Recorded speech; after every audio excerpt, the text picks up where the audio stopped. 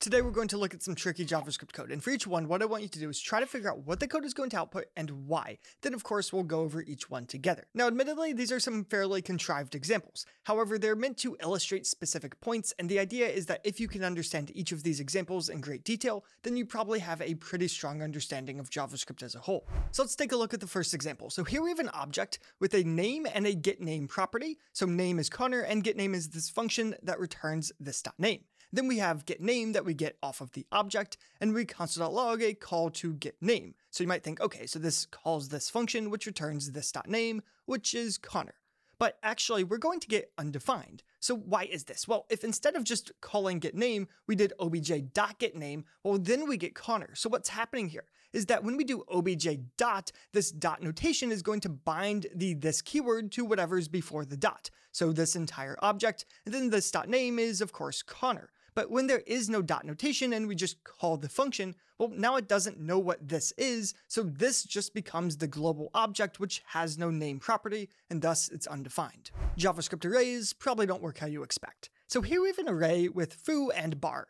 And then we say array at 10, that's going to be Baz. You might be saying, okay, array at 10, that has to be like out of bounds or some kind of error, right? Right, JavaScript, please? Then we log out the array and we log out the length of the array. Fine. And then we set the length of the array to just be one, whatever that does. And then we log out the array again. So what we're going to do here is we're going to first of all add Baz in the actual 10 slot and then just add these empty items as sort of placeholders between them.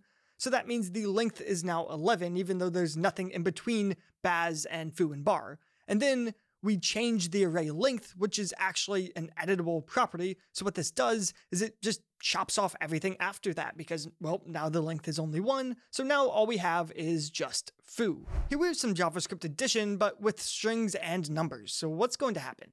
Well, we have 3 plus 4 plus 5, and 5 is a string. But we're going to go from left to right. So first, 3 plus 4. That's, of course, 7. Now we have 7 plus 5, but 5 is a string. So whenever you have addition with a string, it's not actually addition. That plus sign is concatenation. So because of this, this is going to be treated as a string, and we have 7 plus 5 as strings, or the string 75, which is the string of 75.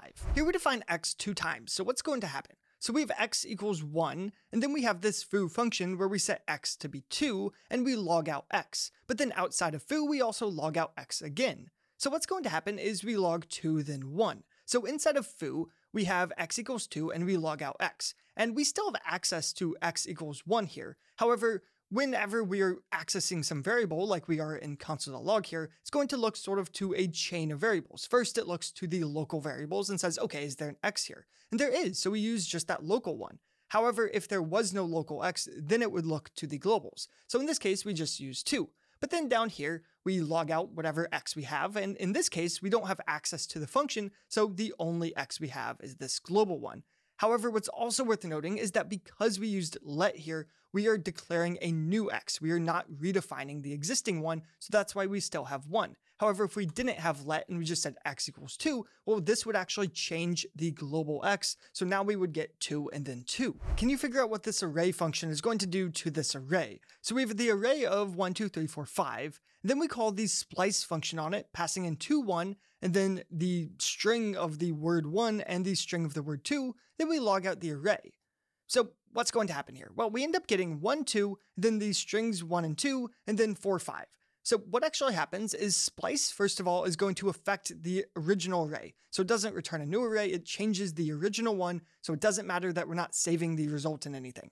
So first of all, splice takes in an index. So index 2 is this 3 here. And then it takes in a number of elements to remove. So it removes one element. So it removes this three. And then anything we pass in after that is going to put in the array in replacement of the three. So we get one, two, and then these two strings, and then four, five. What's going to be the order of these console logs? So we have console log of one, and then a set timeout with console log of two, but a zero millisecond delay, and then console log of three. So you might be saying, okay, we log out one, and then a zero millisecond delay, that does nothing, so we log out two, then we log out three. But this isn't actually the case. We get one, three, and then two. So what's happening here? Well, this has to do with something known as the event loop, and just the fact that JavaScript is single threaded, meaning only one thing can happen at a time. So first we log out one, that's self explanatory. Then set timeout says, okay, after zero milliseconds, queue up this code to run.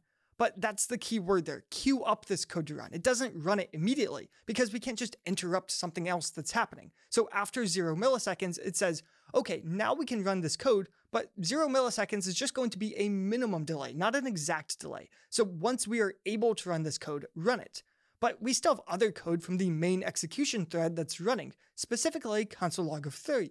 So until the call stack is empty, this set timeout code can't run.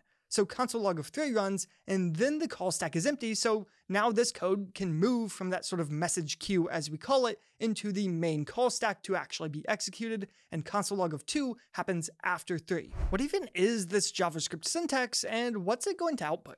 So we have const a, which we set equal to 123, but these are parentheses, this is not an array. And then we have console log of a, so you might think, okay, maybe this is like an array, maybe it's some kind of tuple, something like that. But nope, that's not what it is. It's just JavaScript. So in this case, what's happening is this is known as the comma operator. So we're actually going to get three. And what happens when you use the comma operator, which just allows you to have multiple comma separated expressions, they are all going to execute. So if this was some function call, that call would actually execute, but then it's just going to return the last value, which in this case is the 3, so that's why a is set to 3. Here we have a few objects, and we're checking the equality of different objects. So what's going to happen? So we have const obj1, which we set equal to this object with a value of 10. Then we have obj2, which we set equal to obj1. And then we have obj3, which we set equal to another object with a value of 10. And we check if obj1 is equal to obj2, and if obj1 is equal to obj3. Now you might be saying, okay, these are all the same, so they should all be equal. But actually, we get true and then false. So obj1 and 2 are equal, but obj1 and 3 are not. You might be thinking, okay, this has to do with strict equality, so if we do two equal signs instead, we get true and true. But no, we still get true and false. So what's happening here is obj1 and obj2 are the same object. obj3 has the same value, but it is a different object. So whenever we do equality operators with objects, it's not looking at the values in those objects at all. It's looking to see are they references to the exact same object, which in this case obj2 and 1 are, but obj3 is not, so thus we get false here. Object properties in JavaScript are a little bit strange. So here we have an object with a first name and it is set to Conner, and then we log out object.firstname. Pretty self-explanatory, this should be Conner. But of course, no. It's a reference error. Name is not defined. So what exactly is happening here? Well, we do object dot, and then we get first dash name. But dash is subtraction. So actually we do object dot first, which is undefined, minus name, which just doesn't exist. So that's a reference error. So that's where we get the error message. So what this means is if you have a dash in your property names, which really you should just avoid dashes in property names, you can't use dot notation. Instead, you need to use this bracket notation with a string, and then we would get Conner. Can you figure out what this sort of tricky JavaScript promise code is going to output and why? So first we have a promise, which is resolved to 5. And then we have promise2, which is set equal to promise.then, taking in a callback function, which logs out some value and returns that value times 2. Then we log out promise2, then we call the then method of promise2, and this takes in a callback function again, which logs out some value times 2. So the result of all of this is going to be a pending promise and then 5 and then 20. So what exactly happens? Well, first we have a promise, which is fulfilled with a value of 5. Then we have promise 2, and we have promise.then, which runs when the previous promise is fulfilled. So this code should be running, but it's not going to run immediately because promises are asynchronous, and essentially it just has to wait for the call stack to be empty before this code can actually run, so we continue on. We log out promise2, and promise2 is still pending because this hasn't been able to run yet, so we haven't returned yet.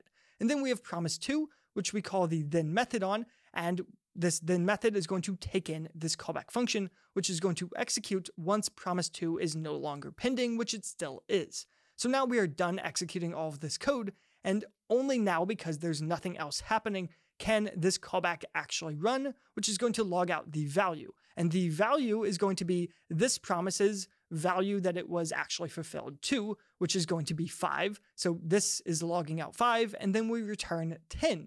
And now this promise is fulfilled, meaning that this then callback can also run, and it is going to have a value of 10 from this value times 2, so we log out 10 times 2, which is going to be 20. Okay, so that's the last of these challenges. Let me know how you did and if you want to see more of these, and then watch this video next.